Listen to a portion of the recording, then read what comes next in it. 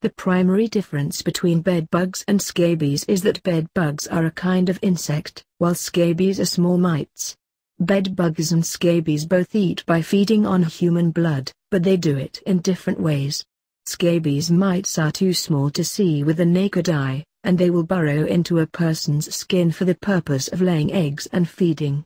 Bedbugs generally hide in a person's furniture and come out after dark to feed. The symptoms of bed bugs and scabies on the skin are also very different from each other, with scabies targeting very specific areas and bed bugs biting any area on the body without a preference. When bed bugs bite someone, they generally inject the person with a numbing agent. Most people are allergic to this substance, and this allergy is normally what causes the bumps to appear. After being bitten by bed bugs, there will often be a pattern of bumps over a relatively wide area of the skin. Bed bugs have very soft bodies that easily bust, especially when they're full of blood, and this can leave behind small blood spots on a person's mattress. Scabies tend to target certain specific zones on the body.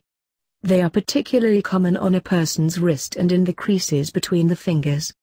It's also common for people to have scabies sores under the area of the stomach, around the genitals, on the elbows, and between the toes. At the beginning of the infestation, the scabies sores will often look like white lines in the skin, but over time, they will generally become inflamed red bumps. These bumps tend to itch pretty badly, and people will often scratch them aggressively enough to open up the skin and possibly cause additional skin infections. The treatments for bed bugs and scabies infestations are very different from each other. Most doctors prescribe medicated creams for scabies rashes. Without these medications, a person may not be able to get rid of scabies. Scabies is also contagious, so there are often a lot of precautions taken to avoid passing the infestation on to other people.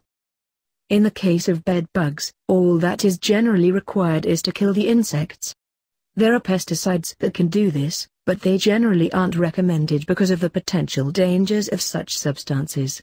Most solutions for dealing with bed bugs revolve around dealing with the infested furniture or linens.